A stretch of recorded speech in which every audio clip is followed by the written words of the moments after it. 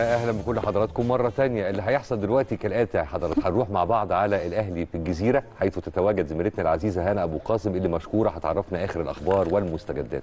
صباح الفل عليك يا هنا اتفضلي. يا صباح الخير عليكم وعلى كل مشاهدي قناة الأهلي في كل مكان يوم جديد و10 الصبح في الأهلي وزي ما عودناكم دايما هنقل لكم كل الأخبار المتعلقة بالنادي الأهلي وفرقه الرياضية المختلفة.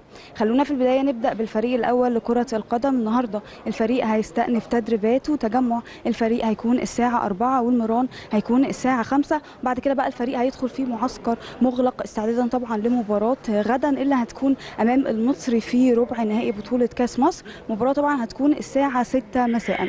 يعني أكيد المباراة هتكون مش سهلة على رجال النادي الأهلي. أكيد المصري خصم قوي. وكمان بقى خليني أقول لكم يا كريم ونهاوند ان أكيد السيزون آه، المر... السنة دي كان طويل مباريات كتير وبطولات كتيرة. لكن بقى عندنا ثقة كبيرة جدا أكيد في رجال النادي الأهلي. إن شاء الله يقدروا يفوزوا ويتأهلوا لسيمي فاينل البطولة.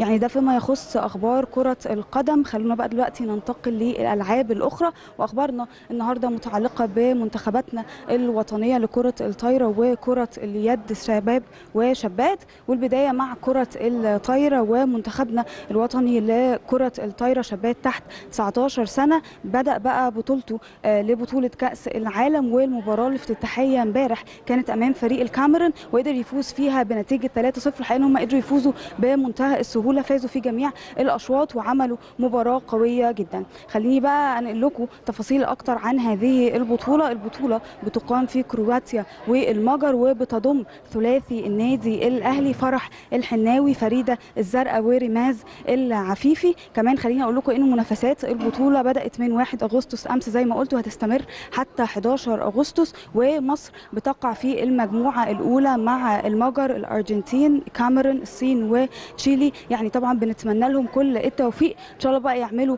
بطولة كبيرة ويشرفوا مصر زي ما عودونا دايما.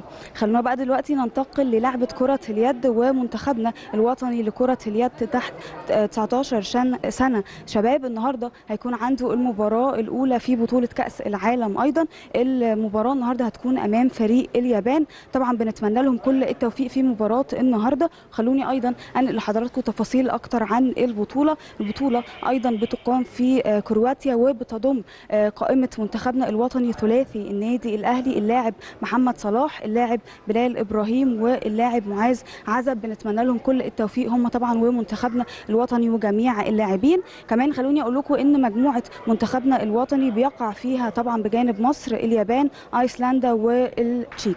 هم كانوا لعبوا سلسلة من المباريات الودية واستعدوا بشكل قوي جدا للبطولة. إن شاء الله بقى ضربة البداية تكون قوية ويقدروا يحققوا فوز ويعملوا بطولة قوية. طبعا بنتمنى كل التوفيق لمنتخباتنا الوطنية. يعني ده فيما يخص أخبار الفرق الرياضية المختلفة كمان بقى يا كريم ويا نهاوند زي ما عودتكم دايما خلوني أنقل لكم الأجواء داخل مقر النادي الأهلي بالجزيرة. الأعضاء متواجدين في النادي درجة الحرارة دلوقتي 32 يمكن تواجد الاعضاء الأعضاء عفوا قليل بشكل نسبي طبعا بسبب ارتفاع درجات الحرارة. لكن بقى طبعا على مدار اليوم بيزداد عدد الأعضاء والحقيقة إنه في سيولة مرورية جيدة للطرق المؤدية للنادي. يعني دي أبرز الأخبار من داخل مقر النادي الأهلي بالجزيرة. قبل ما أختم كلامي بقى طبعا حابة أقول لنهاوند بما إن عيد ميلادك هيكون في ال weekend كل سنة وانت طيبة وعقبال من 100 سنة وإن شاء الله تحققي كل اللي انت عايزاه السنة دي والآن العودة ليكم مرة أخرى في الاستوديو. حبيبتي يا هنا والله بجد وانت طيبة يا رب وكلنا طيبين وهنحتفل بقى مع بعض بإذن الله. شكرا ليكي. ده لازم نعمل كده عقبال مليون سنة. ميرسي يا كريم ميرسي يا هنا جدا على هذه التغطية.